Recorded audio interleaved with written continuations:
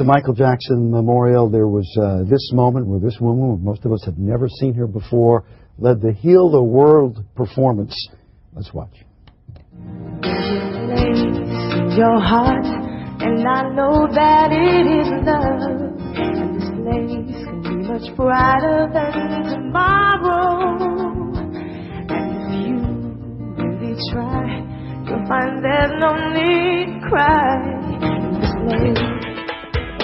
In this place. Okay, who are you? this is Judy Hill from Pasadena, right? Yeah. Okay.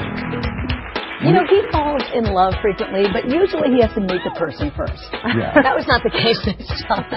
Stunning. We're stunning. Dorothy Hill. We all fell in love with you on stage. Hi. Good to see you. Good to see Come, have a You did seat. amazing. Right here. I was just feeling from you that you haven't quite worked through all this.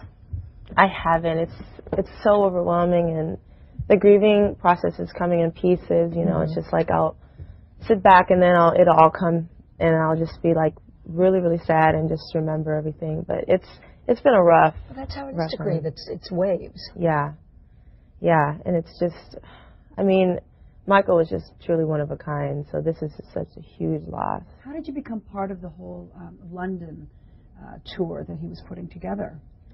A friend of mine um, put my name in and um, referred me to the vocal director and the musical director, and I did a, a little Audition? audition for them.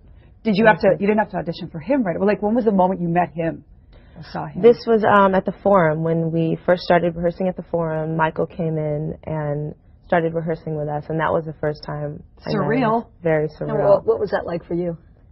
I mean, it was incredible. He was just so. He was Michael Jackson. I mean, it's, everything about him. He was performing amazing. I mean, the moment he got on that stage, it was just like his energy was so incredible, and I, my mouth was just on the floor because this was Michael Jackson, and we were. and you got to perform with him. Mm-hmm. Were you intimidated or did you rise to the occasion? I was intimidated at the thought of it, but when he got there, it was.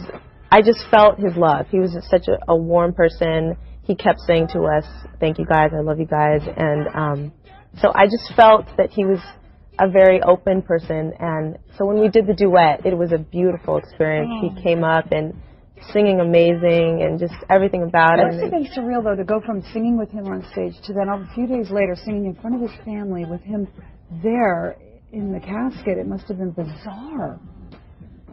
Yes, it was heartbreaking to see that casket. I, it was it was a very very difficult service. Where where were you? When did you hear?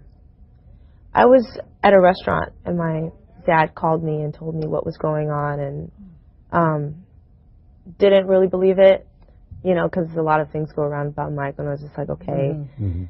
It wasn't until I got to the Staples Center, you know, that day for rehearsal where people were packing up their bags and Mm. it was it was the worst day ever to see the stage being collapsed and you know um, everyone in tears, people just silent, just at a loss of words. And so you saw a very vibrant Michael. So you must have just been completely shocked.